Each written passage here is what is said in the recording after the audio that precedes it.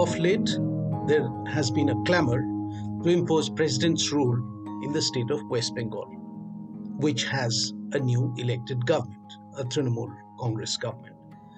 The opposition BJP and its leader in the state assembly, Shuvendu Adhikari, met with the Home Minister Amit Shah in Delhi, asking for president's rule to be imposed.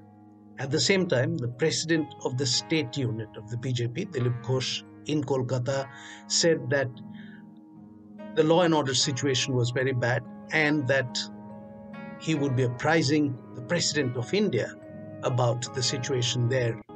So, what is this president's rule and this talk of Article 356? Before we go into that, suffice it to say, no liberal democracy in the whole world has such a provision in their constitution where the central government can dismiss a duly elected state government. Now, India and Pakistan both have it. It, it has been almost lifted ditto from the 1935 Government of India Act, Section 93 national leaders at that time had opposed it tooth and nail, and the British Raj never got to use it in the time that they were here. So, till 1947, it had never been used. So, what is Article 356? Article 356 is basically saying that a state of emergency exists in the state and the state government cannot function, it is unable to govern. So, then President's rule is imposed based on Article 356 and the governor takes over. Now, this can run for six months. Within two months, it has to be approved in Parliament.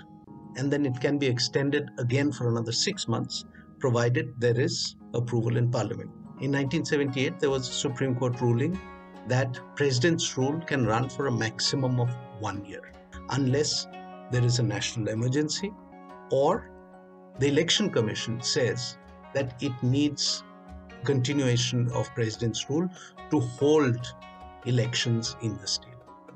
The first time it got used was in 1951 when the Punjab government was dismissed by the central government. And since then, it has been used more than a hundred times.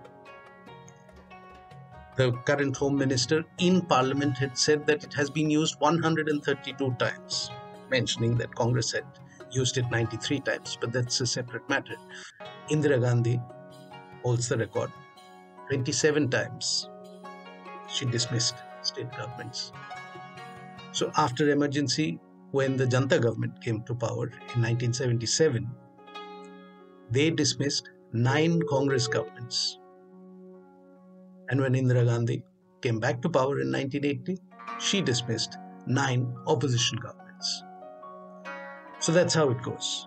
Almost every state in India has seen president's rule except for two new states, Chhattisgarh and Telangana. They are the only ones left where a president's rule has never been imposed. Chhattisgarh is currently a Congress state. Chief Minister Bhupesh Baghel